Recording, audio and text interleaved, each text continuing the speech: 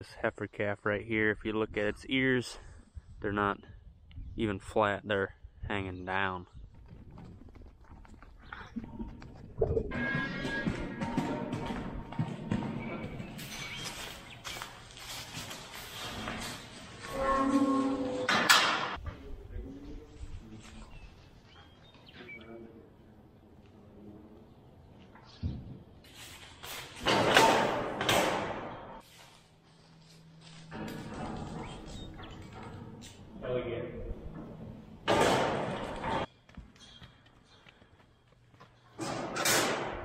There she goes. We gave it some LA300. It's an antibiotic, and also something called Prevail. It's pretty much like a like an ibuprofen almost, Banamine.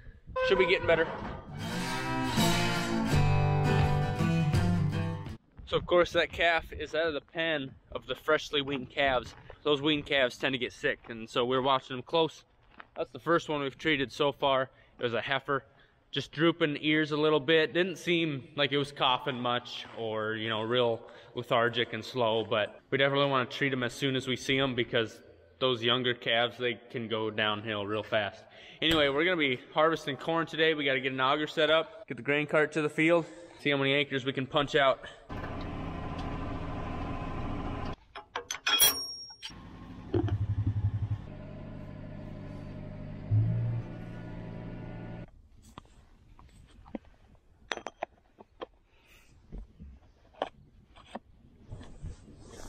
Right here, we got us some airless tires. Been looking all over for them. They're like impossible to find for some reason.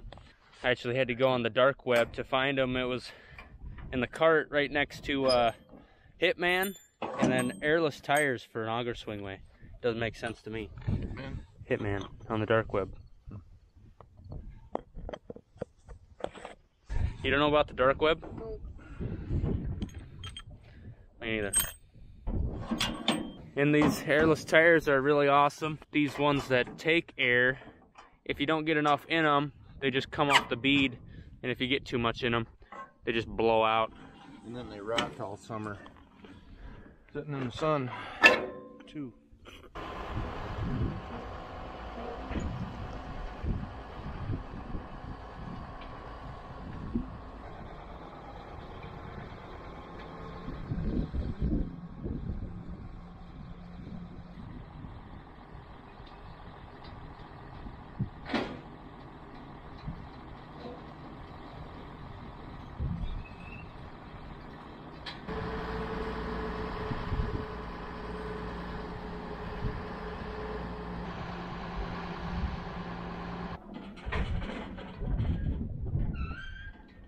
Hear Uncle Jeff just starting a semi down there.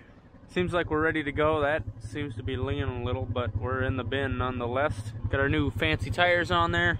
Harvest some kern. If you look at some of these old ones, just blew out. It's terrible.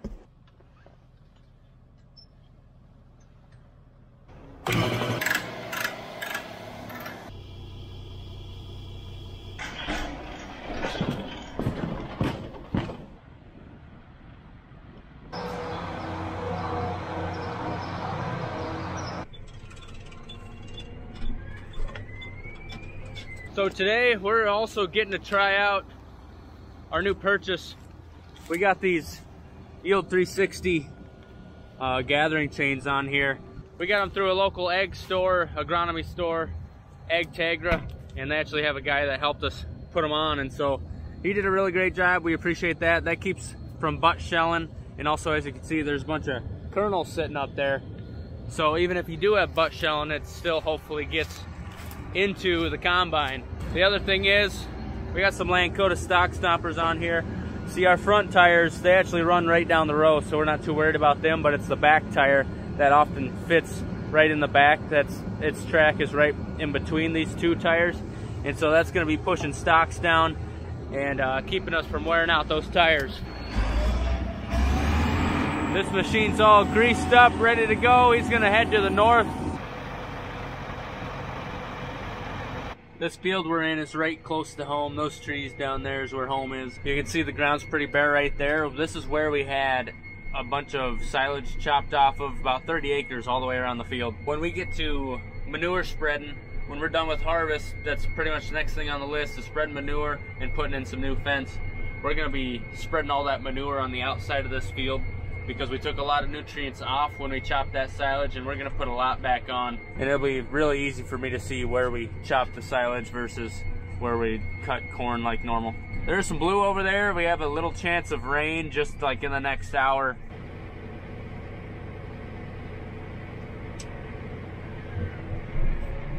You're kidding. Dad was laughing and pointing at me. I drove underneath to, to dump and the thing was tarped. Well, this was sitting in the shed, so I don't know why it'd be tarped. Give this another try.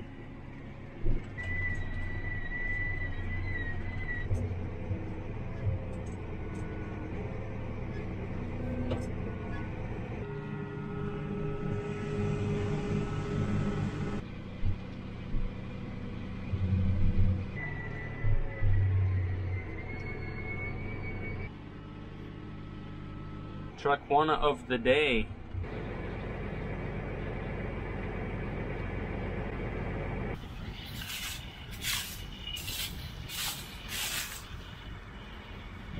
Not seeing any waste at all.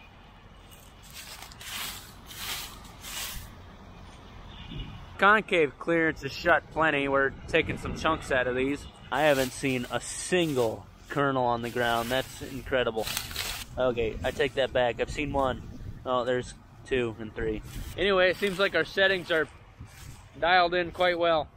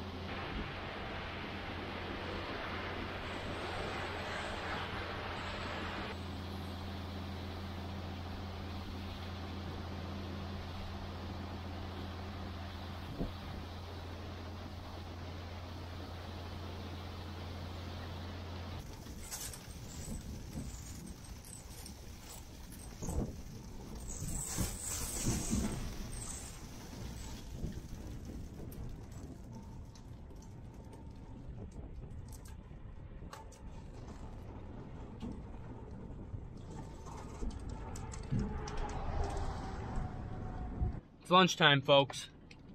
Heading over to Storla Station. Storla Station. Picking up a hitchhiker over here.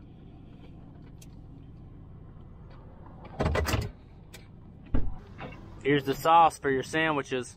Bring it on. Yeah. Storla Station. I like a nice cloudy day of harvest. It's a good feeling, but also you don't have the sun shining in on a box with windows just heating it up.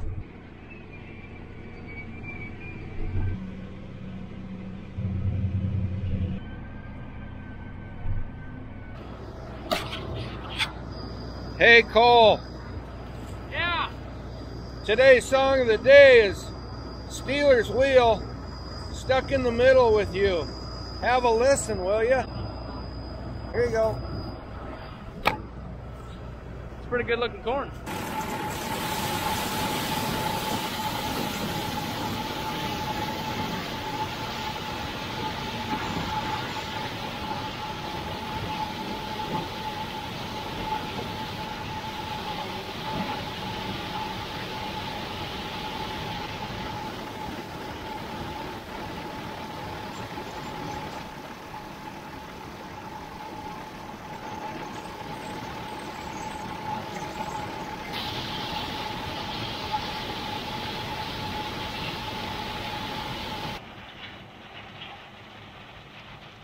We got a big old ditch run through this field.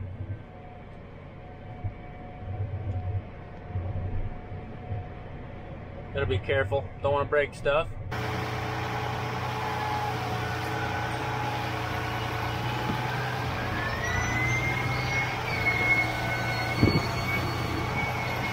Learned something on a different YouTube channel. They always keep dry erase markers in their cabs and they're able to make notes. That's that's really nice. You know, it comes right off. But it's a good way to write something down temporarily. I just use it to keep track of how much I have in these semis and how much more I need to put in there.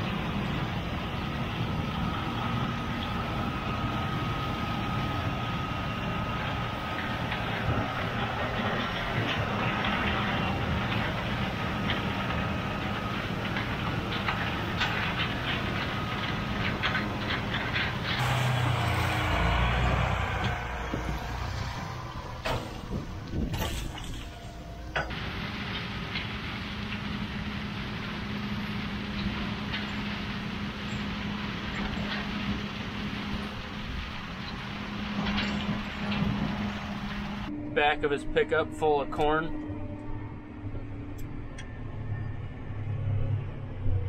Yeah, fill her up. He says do her. Here we go.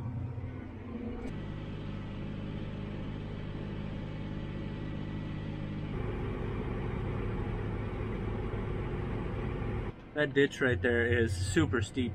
You guys just gotta inch through it. Try not to run the header into the ground and try to keep it so it's gathering all the corn. So those ditches were never very bad until like 2019 we had above average moisture. Just like three years ago it was super wet around here and just all this water rushing cut really deep ditches. Now it drains well but we gotta we gotta drive through some some steep ditches. So our feed guy Leroy, he's in the tractor with Dad, just riding for a round, and he borrowed our post hole digger. So we're gonna head back up in the yard and unload that for him. Just after I fill his tailgate full of corn.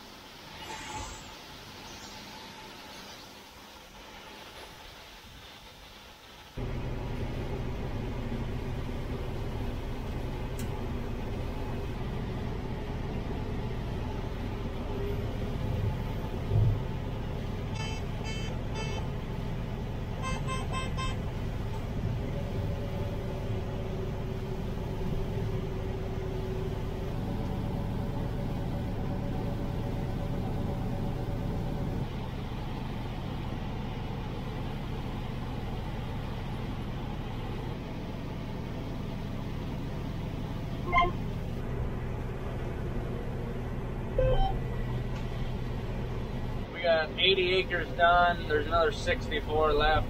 It's gonna take us about four more hours and it's about five o'clock. Our calves at home do need uh, another bale, so we'll have to get that done today. This field is one of our hilliest, which is nothing that hilly. You know, we're pretty flat around here.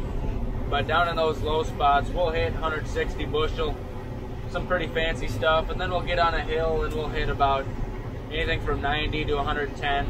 So yeah, a couple more two inch rains would have made pretty good. It would have been a great year if we would have got two more two inch rains. I just realized that even though it says we have about 60 acres left, we had them chop the end rows, which was about 30 acres, so we only have about 30 acres left. I got demoted. That blue has just been sitting there and sitting there. That could mean my pasture out west has just been getting rain all day, but I doubt it. You know, you don't usually want rain in the middle of harvest, but we'll take anything we can get. Been a lot of semis on this road today.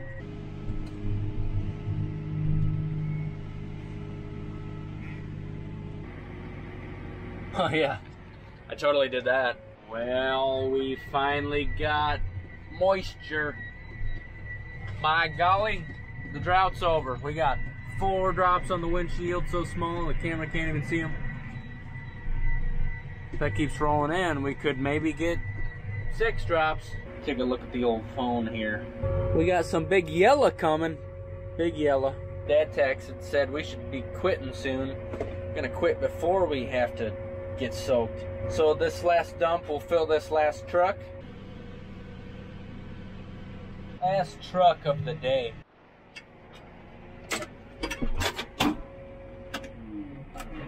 It's starting to sprinkle and you can really feel that it cooled down.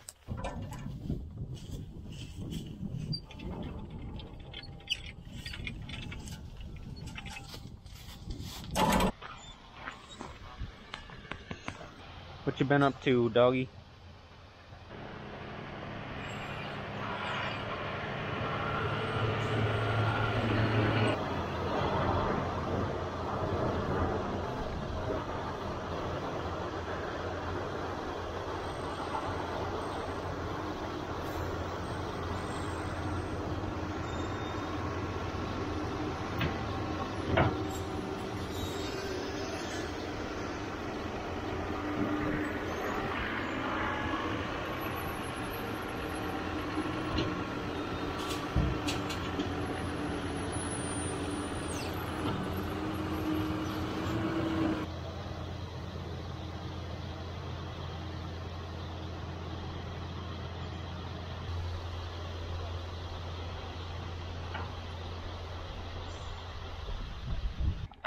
How you doing, girl? Here's the cow that's got that got real skinny out on pasture. We assume she got hardware disease. Seems like she's moving faster, eating faster, but she hasn't really put on much weight, so we'll keep feeding her and see if she gets any better. She's a big fan of the perlet. So now there's about 15 loads of corn in that grain bin. About half full. I see. Yep. And if it keeps raining, we'll be working cattle, weaning cattle tomorrow. Will the corn be better if it rains now? No. So we either get to combine corn or work cattle, huh? Yeah. Alright. Sounds like a day. Alright. Thanks for watching, everybody. We'll see you next time. Have a good one. Have a good one. Have a good one. Have a good one.